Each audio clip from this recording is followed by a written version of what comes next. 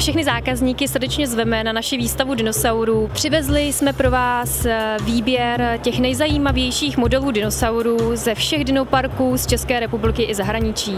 Výstava je vhodná také pro školní skupiny eh, v rámci školní výuky.